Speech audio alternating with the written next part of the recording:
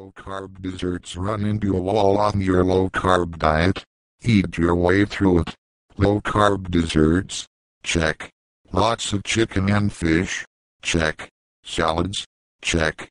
Sometimes you can go right down the low carbohydrate checklist and still not lose any weight for exasperating lengths of time. This time period is called a plateau, or when your diet has stalled out and come to a standstill even though you are eating as you should. What can you do to hurl yourself off a plateau figuratively, of course, although sometimes it gets so frustrated you feel like doing that literally, and begin losing weight again. First, be sure your body has actually hit a real stalled plateau before you turn your back on low carb desserts and go back to the bad ones.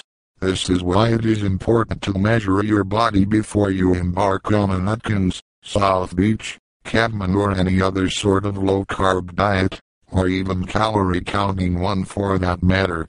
You should pre-record the inches for your waist, upper arms, hips, calves, thighs and chest because you just don't know from which area you might be losing inches.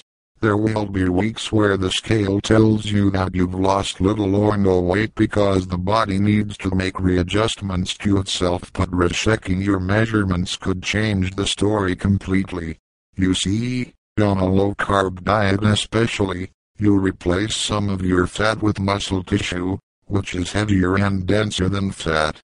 That means you will be losing inches off your measurement, but the added weight and density of your muscle makes up for the fat loss. You can get slimmer and still weigh the same. Keep in mind that you not only want to peel off pounds, lose fat and get slimmer you also want to transform your body into a lean, mean working machine and that includes turning fat into muscle, or even building muscle where there was none before. Of course, there are people like me who want to lose the muscle between our ears, but that's another story. To determine if you have truly hit a plateau, after you step on the scale for your weekly check of your weight, check your inches, to track the progress of weight and inches together and you'll see that sometimes a stall is not really a stall, but a body readjustment. In fact, you could go for a month or so stuck at the same weight, and want to hurl your scale out the window or at least question its parentage. But things are still on track if you are slowly losing inches at this time. Yes, there are times when your best diet buddy is your ruler, not your scale. Of course, there is also the flip side, where you are losing weight but not inches probably means you are losing fat from the places you didn't measure.